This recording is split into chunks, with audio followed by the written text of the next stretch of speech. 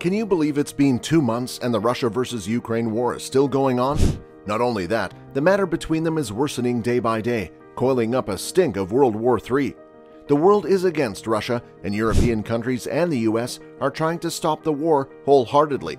But did they succeed? What's the status of the last two weeks of the war? Well, in this video, we are going to discuss the scenario of Russia versus Ukraine over the last 14 days of the war. Hello viewers, welcome to the Ukraine war. We are here to deliver you updates on all the new political moves regarding the Russia-Ukraine conflicts, the casualties, strategies and aftermaths of the ongoing war in detail. Subscribe to our channel and hit the bell icon if you don't want to miss any of those. Having said that, let's jump into today's topic. The dispute between Russia and Ukraine experienced no significant improvement so far. Ukraine, on the 53rd day of the war, has requested $50 billion in financial assistance from the G7 nations and is considering issuing zero coupon bonds to help cover a war related budget shortfall. According to Ukraine's prime minister, the remaining Ukrainian soldiers in the southern port city of Mariupol are still battling. Ukraine and Russia were unable to reach an agreement on humanitarian convoys to evacuate citizens from war torn regions. Ukraine's president has requested more weaponry on the 54th day, calling any delay a license for Russia to kill Ukrainians.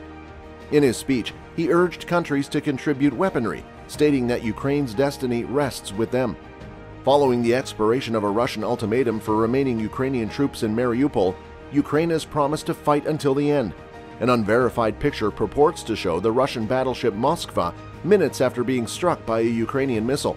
According to Zelensky, French President Emmanuel Macron has been asked to visit Ukraine to examine for himself proof that Russian forces have committed genocide.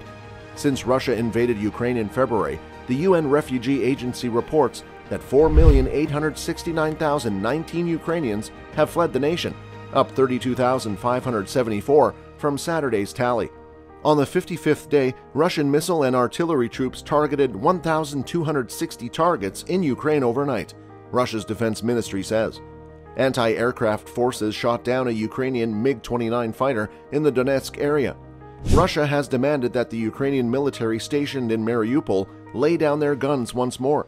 Greece has detained a crude oil Russian ship off the coast of Evia. On the 56th day, Russia's defense ministry said that Ukrainian forces will be allowed to lay down their arms Wednesday. Since Russian forces entered Ukraine on February 24, more than 5 million people have fled the nation. 90% of those who have left are women and children, with another 7.1 million people displaced within Ukraine. Vladimir Putin, on the subsequent day, has instructed his soldiers not to invade Mariupol, the final major Ukrainian bastion. The Russian defense minister acknowledged that the Russian army was still battling tens of thousands of Ukrainian forces in the area. Kharkiv, Ukraine's second largest city, is under heavy assault, according to its mayor. The parliaments of Estonia and Latvia have declared Russia's activities in Ukraine to be genocide. The Battle of Kiev has been praised by U.S. Vice President Joe Biden as an historic triumph for Ukrainians. According to Biden, Vladimir Putin's authority over Mariupol is debatable, and there is no indication yet that the port city has fallen fully. A new shipment of military equipment, including transport trucks and ammunition, has arrived in Ukraine from Spain. Denmark has upped its arms donation to Ukraine by 600 million euros. On the 58th day, fears are mounting for the hundreds of people trapped in Mariupol's Azovstal steel mill. If Ukrainian soldiers surrendered, Russia's defense ministry indicated it would let people leave the steelworks. However, according to a source, Russian soldiers are continuing to attack the plant. According to the UN Human Rights Office, there is mounting evidence of war crimes in Ukraine. Next week, the chief of the United Nations nuclear watchdog will pay a visit to Ukraine's Chernobyl nuclear power facility. Rafael Grossi will transport critical supplies as well as to conduct radiological and other evaluations.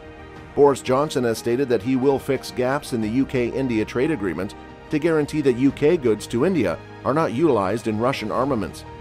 A military cargo jet from Ukraine, the Antonov AN 26, crashed in a field near Mykhaylovka, a settlement in the Zaporizhzhia region.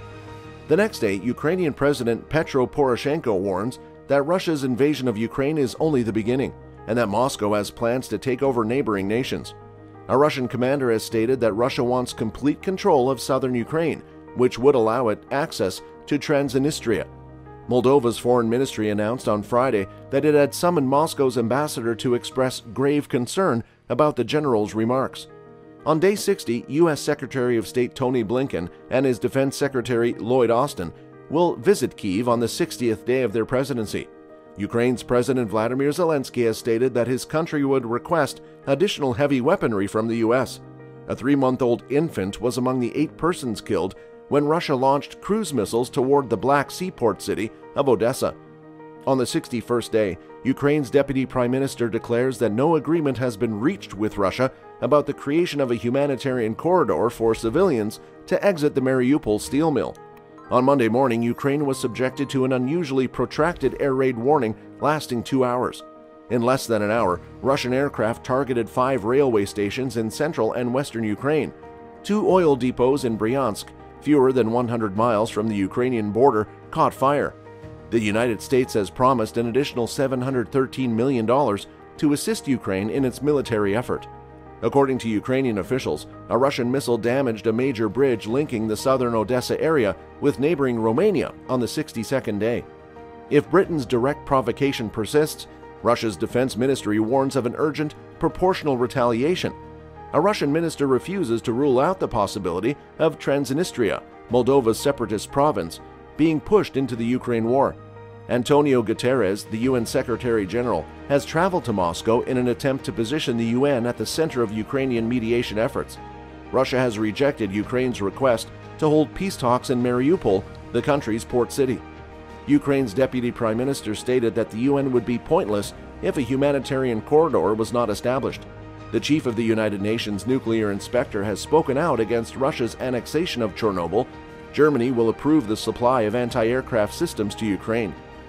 The energy provider Gazprom has blocked gas deliveries to Poland and Bulgaria for the 63rd day, forcing crisis meetings in European capitals. Moldova's interior minister said that Moldova has been targeted by Ukraine, while Russian soldiers have taken control of the town of Zurich.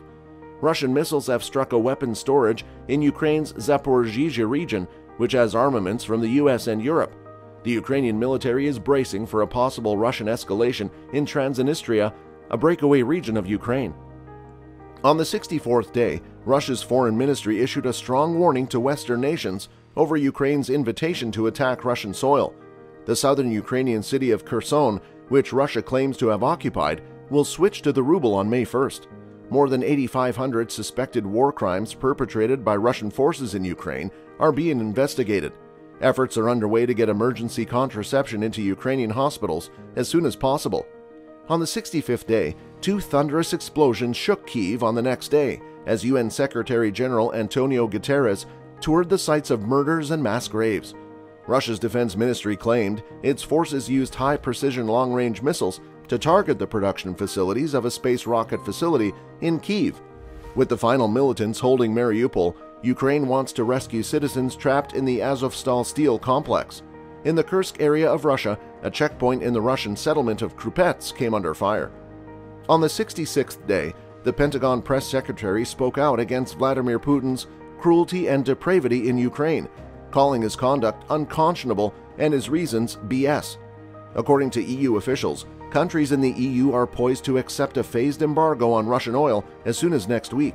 The condition inside the besieged steel mill, according to a Ukrainian officer, is beyond a humanitarian calamity. Hundreds of people are stuck within the Mariupol complex, including 60 young kids. With the final fighters defending the city, Ukraine wants to rescue residents trapped in the steel factory. The names of two British humanitarian workers, supposedly kidnapped by Russian soldiers in Ukraine, have been released.